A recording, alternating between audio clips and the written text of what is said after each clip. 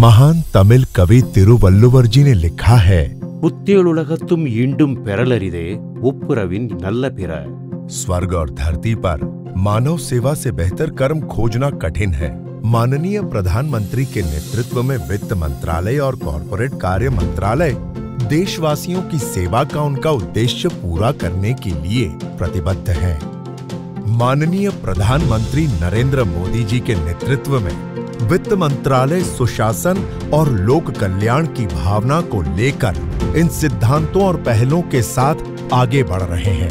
पहला, प्राथमिक नीतियों में ऐसे बदलाव लाए जाएँ जो बजट संबंधी प्रक्रियाओं की कार्यक्षमता बढ़ाएँ। बजट घोषणा की तारीख को अग्रिम रूप से एक महीने से घटाया। रेलवे बजट को मुख्य बजट से जोड़ा गया। प्लान और नॉन प्लान व्यय का विलय किया गया। इस तरह सूक्ष्म पर ज़रूरी बदलाव लाए गए। दूसरा, सरकार की ज़िम्मेदारी यह है कि वह कमज़ोर की सहायता करे और उन्हें वित्तीय धाराओं से जोड़े। इसी सोच ने आकार दिया विश्व की सबसे बड़ी वित्तीय समावेशन योजना को। जन धन योजना के ज़रिए करोड़ों देशवासियों के बैंक खाते खोले गए, जिससे जैम यानी जन धन, आधार और मोबाइल को एक साथ जोड़कर डीबीटी के ज़रिए करोड़ों खातों में सीधे लाभ पहुँचाया गया। जिसकी वजह से कोविड महामारी के समय राष्ट्र अपने नागरिकों की तुरंत सहायता कर पाया और हर एक देशवासी की सामाजिक सुरक्षा सुनिश्चित हो। इसके लिए कम प्रीमियम पर प्रधानमंत्री जीवन ज्योति बीमा योजना और प्रधानमंत्री सुरक्षा बीमा योजना का शुभारंभ किया गया। कमज़ोर वर्गों के लिए अटल पेंशन योजना शुरू की गई।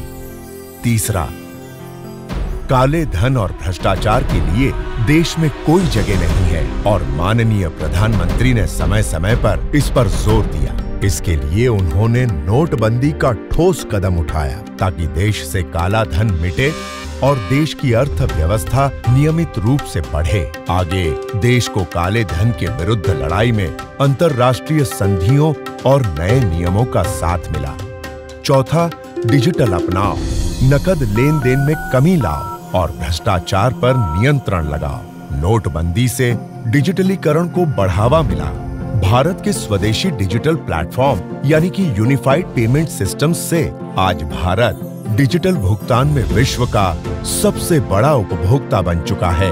डिजिटल विकल्पों को भुगतान में ही नहीं, बल्कि वित्त, कर और कंपनी संबंधी कानूनी कार्यों के लिए भी मान्यता मिल गई है। पांचवा, देश के कायाकल्प के लिए बड़े बदलाव ज़रूरी हैं और इस सोच का परिणाम है जीएसटी यानी गुड्स एंड सर्विसेज़ टैक्स जिसमें बढ़त और सकारात्मक नतीजे लगातार प्राप्त हुए हैं। और इसे अभूतपूर्व गति से देश में आधुनिक आधारभूत ढांचों का निर्माण हो रहा है और करोड़ों देशवासियों की ज़िंदगी में सकारात्मक बदलाव आ रहे हैं। जीएसटी को लागू करने में दोहरी रणनीति अपनाई गई। प्रक्रिया को आसान बनाया गया। गैर ज़रूरी व्यय और धोखेबाजी पर नकेल कसी गई। नतीजा टैक्स भागीदारी को बढ़ावा। छठवां, राज्यों की अहम भूमिका को सराहना। और उनकी वित्तीय सेहत में सुधार लाना। केंद्र ने राज्यों का हिस्सा बढ़ा दिया। सातवां, मौजूदा संस्थानों को मजबूती और नए संस्थानों व सेवाओं का निर्माण। विकास और नियमों के दोहरे लक्ष्य को पूरा करने के लिए कई नई पहलें शुरू की गई। जब कोविड का प्रकोप फैला, तब डर का माहौल था। ऐसे में व्यय कार्य को ज़रूरी सेवा के अंतर्गत लाया गया। ताकि भुगतान में कोई बाधा न आए। आपातकालीन सेवाओं को एक साथ जोड़ा गया।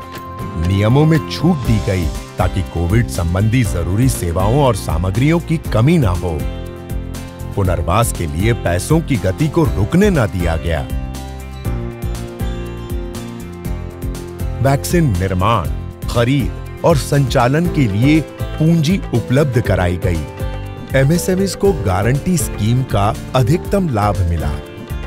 माननीय प्रधानमंत्री के मार्गदर्शन में एक अनोखी पहल आत्मनिर्भर पैकेज की शुरुआत की गई, जिसका मूल्य लगभग 21 लाख करोड़ रुपए था।